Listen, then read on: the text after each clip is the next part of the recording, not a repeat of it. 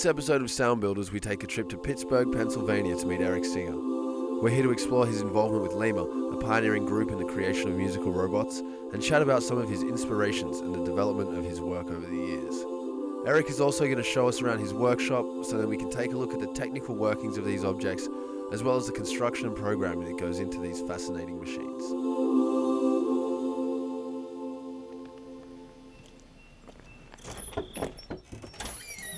Hey. Uh, we're heading down to my basement, uh, also known as Lemur's shop.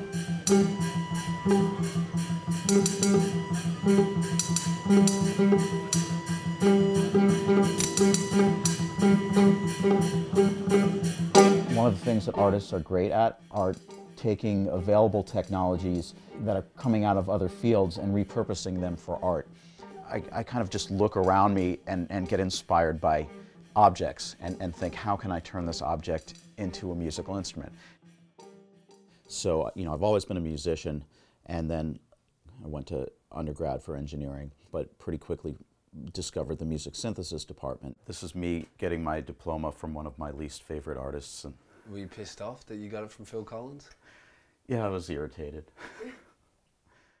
and along the way, I met uh, a guy named Richard Boulanger. He was a professor there, and I became his protege and discovered this whole world of what we call alternative musical instruments or alternative controllers. Basically, electronic musical instruments that don't look like your standard ones. So I started building these strange, different kinds of instruments. Then at some point, I co-founded another art group called the Madagascar Institute with two other guys, uh, Chris Hackett and Ryan O'Connor. So the Madagascar Institute is a collective or a combine of guerrilla street artists, machine artists, pyromaniacs, geeks, and other misfits. The mission is basically to kind of shake up the traditional ideas of art. The group has gone on to do things like make jet engines and put those on carnival rides. In about 2000, I started talking up the idea among friends and colleagues of starting a group to make robotic musical instruments. I was able to interest a number of other people in that idea, and fortunately was able to interest some robotics people. I wanted to get into the kind of weirder, more interesting things like things that can capture gestures, things like gloves, so you can capture your hand motions the sonic banana, which you know you it captures this bending and contorting of a rubber tube, and then really just kind of looking around and figuring out uh, what I could turn into a musical instrument, you know, like a slinky or a ball of slime or something like that. The weirder, the better, just because it's it's unexpected to people. It's it's kind of more interesting to explore, you know, the space of what can be a new way of making music. Uh, I decided to call the group Lemur because lemurs are indigenous to Madagascar. And then I figured out what lemur stood for, and I decided that it stood for League of Electronic Musical Urban Robots. And so at that point, we sort of knew we needed our own shop. So one floor was the basement where we put the shop. The main floor uh, we used as uh, a studio and performance space and gallery space so we could do all the showing of instruments. And then uh, we had a couple of rooms in the back that we used for classrooms, taught workshops from there.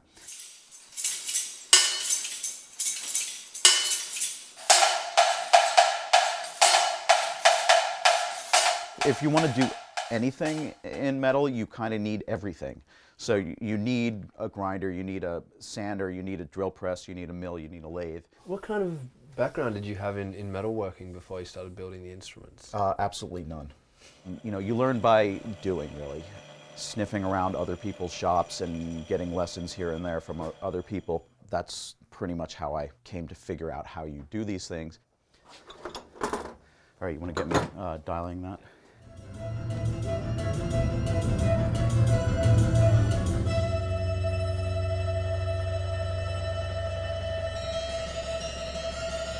My vision for the group has always been to be able to move in a lot of different worlds. Uh, on the performance side, we've worked with Pat Metheny, who's a jazz guitarist. They might be giants, pop musicians, electronic music artists like Mort Subotnick and George Lewis.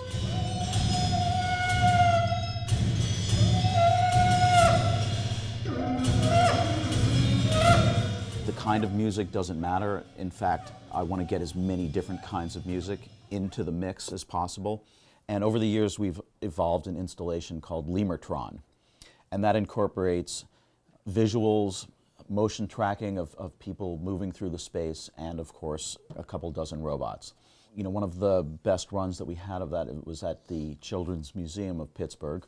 We installed about 20 robots, some hanging from the ceiling. In the center of the room, we have a video projection. It comes down from a projector in the ceiling. Looking at that projection, we have a camera. So now the computer can project whatever it wants, and it can see people moving through the space. So you can do things like project a whole bunch of billiard balls on the floor, and as people move through and kick the balls, the balls, the computer makes the balls roll around. Every time the balls collide, we set off a pair of robots. So each ball corresponds to a robot, and it's kind of like this cacophony of collisions that you have control over. Okay, ready, set, go. You put it all together, it becomes this magical world.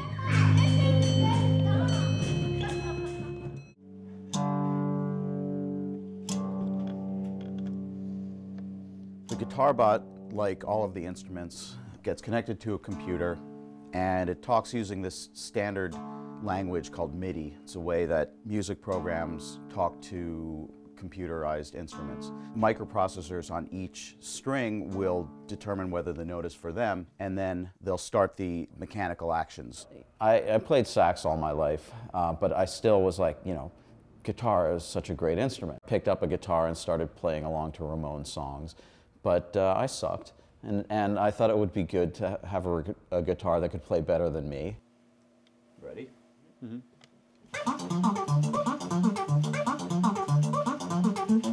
You'll see that it neither looks like a guitar nor a robot, which is a little confusing to people. But once they see it and hear it play, then it becomes obvious that it's this guitar-based automated instrument.